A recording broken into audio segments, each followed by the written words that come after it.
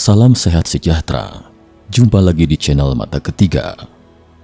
Berhubung topik hari ini cukup panjang, tim Mata Ketiga hanya merangkum inti ceritanya.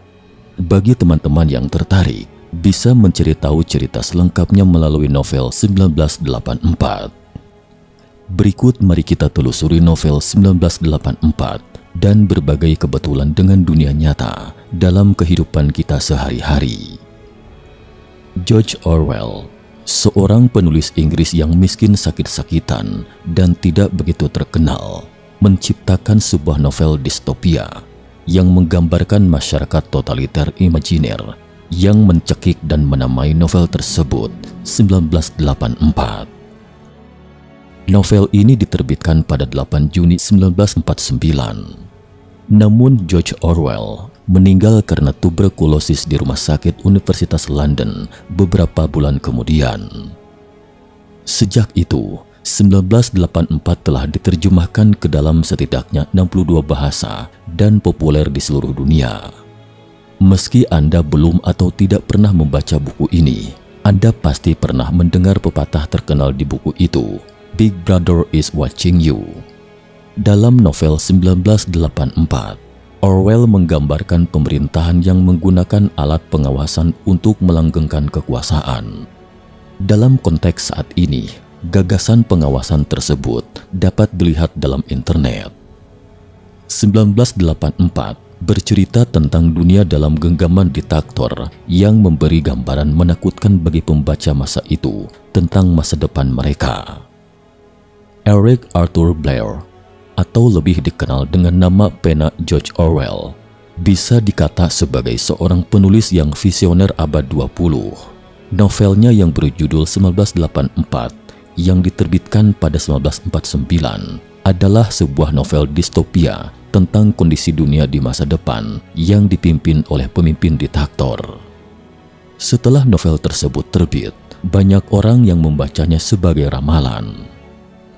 Tapi semua sensasi dan kesuksesan, kehormatan dan kekayaan tidak ada hubungannya dengan kemiskinan dan penyakit George Orwell semasa hidup.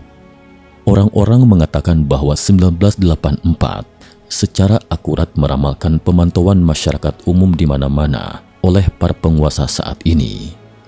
Tapi itu hanya setitik gunung es yang diprediksi dalam 1984. Ramalan George Orwell diam-diam menjadi kenyataan dalam setiap aspek kehidupan masyarakat saat ini.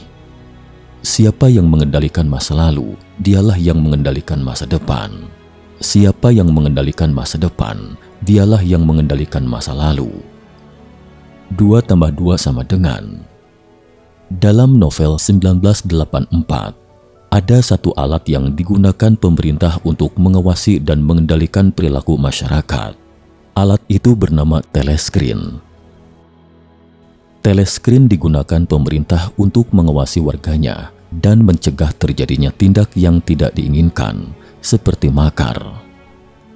Alat tersebut sebenarnya bukan hanya alat mata-mata, melainkan juga propaganda.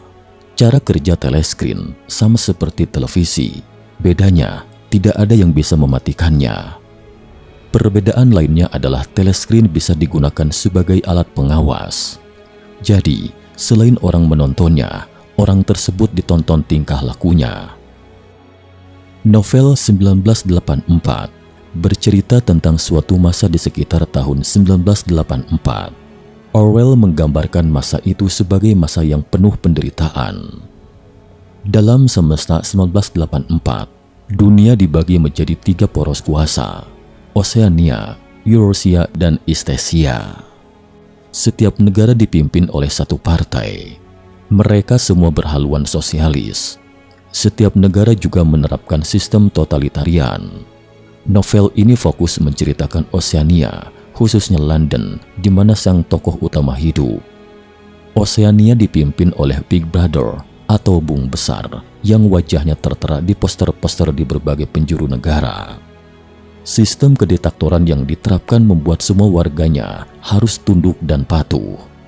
Kedisiplinan ini sifatnya menyeluruh, mulai dari jadwal bangun tidur, hiburan, buku yang dibaca, bahkan ekspresi muka dan pikiran. teleskrin adalah kunci partai dan bung besar melanggengkan kekuasaannya. Selain sebagai media doktrinasi, teleskrin adalah sebuah alat yang efektif untuk mengendalikan tingkah laku seseorang dalam mempertahankan kekuasaan, menebar ketakutan, dan memodifikasi tingkah laku. Dengan adanya teleskrin, pemerintah Oceania dapat segera mencegah adanya indikasi penyelewengan atau pemberontakan dari warganya. Teleskrin juga sekaligus membuat warga Oceania yang mempunyai pandangan berbeda takut menyuarakan gagasannya dan menyimpannya agar tak kena hukuman. Dengan begitu, tidak akan ada gerakan kolektif menentang pemerintahan sebab bibit perlawanan sudah dibabat pada level individual. Sinopsis film 1984 bercerita tentang Winston Smith yang merupakan seorang anggota partai Sosing yang berkuasa di negara Oceania. Winston boleh dibilang merupakan pengikut setia dari Big Brother, sang penguasa. Selain itu, Winston juga bekerja di Ministry of Truth atau Kementerian Kebenaran di bagian berita dan propaganda yang bertugas untuk menanamkan visi dan misi partai pada masyarakat agar terpengaruh dan menjadi pengikutnya. Meskipun tampak menyenangkan bekerja untuk partai, tapi ternyata Winston dibuat tercengang dengan kondisi masyarakat yang tampaknya sudah tidak tahu lagi akan asal-usul kehidupan mereka karena selama ini sudah berhasil dikelabui dan banyak fakta yang dibelokkan oleh partai sehingga membuat kehidupan tampak membingungkan. Partai mampu memutarbalikan fakta yang ada demi kepentingan mereka. Bahkan kebebasan dan keadilan di kehidupan 1984 tampak diatur dan dibatasi oleh pihak penguasa. Perang, kebohongan, dan kekangan seakan menjadi makanan sehari-hari bagi masyarakat sehingga membuat mereka tidak mampu lagi membedakan mana fakta dan hoax, serta mana yang benar dan salah. Penguasa membuat propaganda mengenai keberhasilan mereka dalam kemenangan perang, ekonomi yang stabil, hingga taraf hidup yang semakin membaik. Namun kenyataannya, masyarakat justru malah semakin menderita dan tertekan.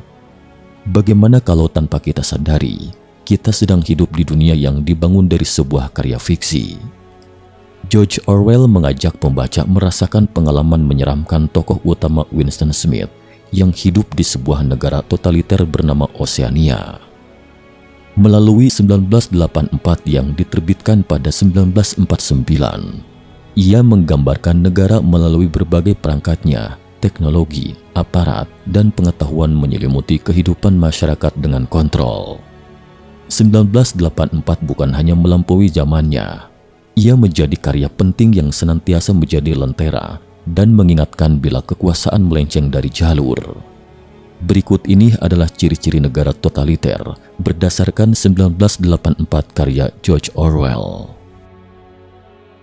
Pengawasan Sejak awal cerita, narator sudah menceritakan bahwa di Oceania, orang-orang hidup dalam pengawasan.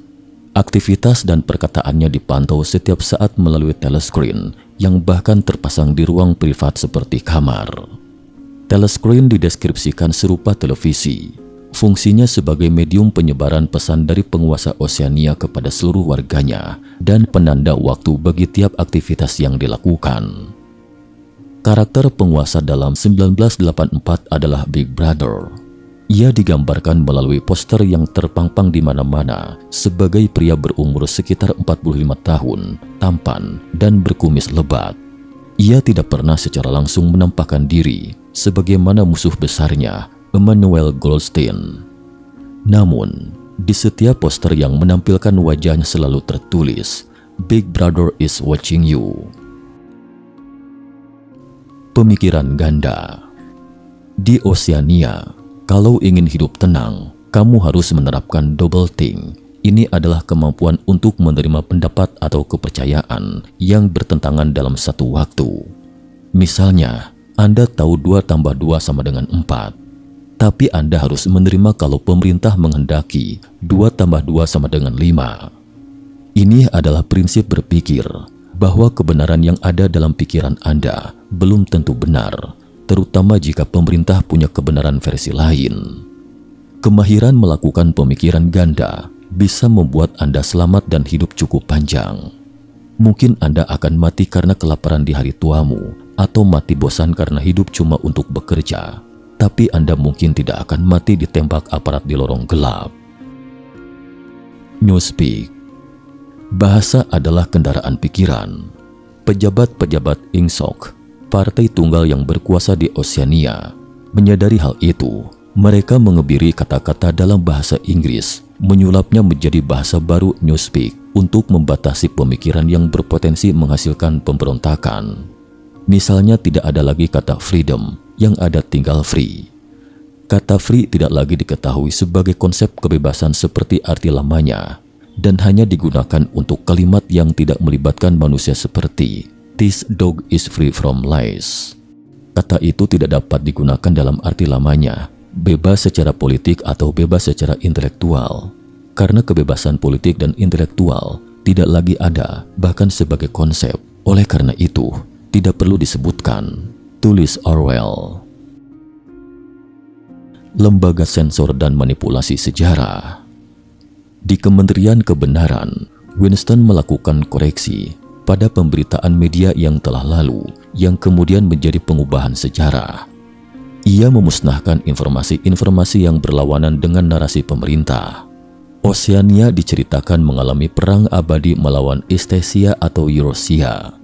Setiap kali berganti musuh dan sekutu, Winston dan rekan-rekannya harus lembur untuk mengubah pemberitaan media soal perang di masa lalu agar sesuai dengan narasi yang berlangsung saat ini.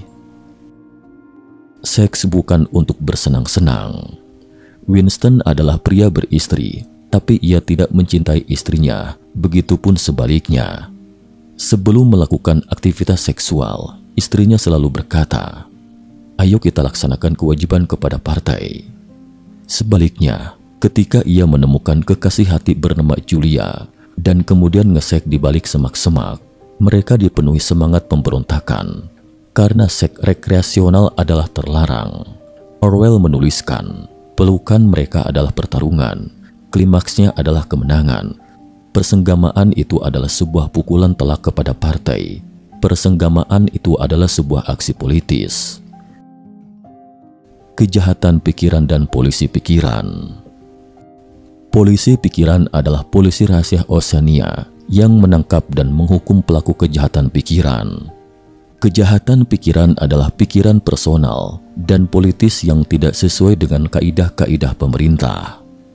Dalam cerita ini, ada karakter O'Brien dan Charrington yang bertindak sebagai mata-mata yang menjebak Winston. Mereka memainkan perannya sebagai senior dalam organisasi sekaligus mentor yang seolah-olah sepemikiran dengan Winston dan kekasihnya. Non-person Anda bisa dihilangkan kalau tidak menerapkan double think atau pemikiran ganda dan membangkang. Bukan hanya jasad Anda yang dilenyapkan, tapi juga seluruh sejarah tentang diri Anda. Ijazah dan akte-akte yang membuktikan keberadaan Anda, keluarga dan teman-teman Anda akan berpura-pura bahwa Anda tidak pernah ada.